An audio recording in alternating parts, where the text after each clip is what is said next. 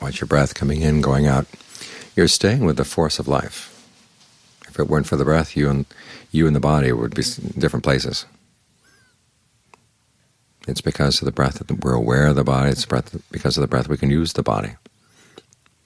So it's really important that we get in touch with this, because all of our actions go through the breath element. This is one of the reasons why the Buddha has us focus our attention here.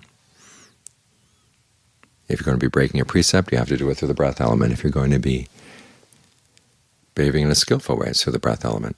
So when you're right here, you're right at the checkpoint. Impulses coming in from the body into the mind, you meet them right here. The orders that the mind gives for the body to do this or do that, they're going to come through right here. So this is a really good place where you can exercise restraint. In other words, deciding what you're going to focus on, what you're not going to focus on, how you're going to focus on it.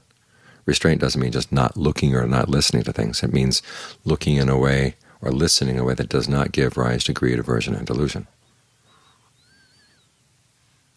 And so when you're with the breath, you're in a good place to do this. The same way with the orders that you give, to do things, say things.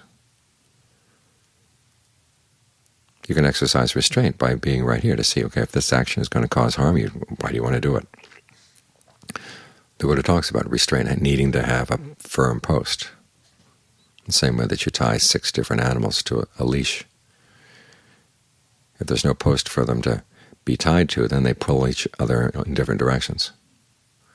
But if there's a firm post that the leashes are all tied to, okay, then then there's no problem. They all stay right there. So this is a good place to watch over what you're doing and saying and thinking, watching over the things that you're letting inside and how you're letting them inside. When you're going out to look at something, what's your purpose in looking? It's going to go whizzing past right here. So try to stay right here as much as you can, because this is the best place to see what's going on and exercise some restraint so that what's going on is more and more inclined to bring the mind to peace. And then bring your actions into the area of what's skillful.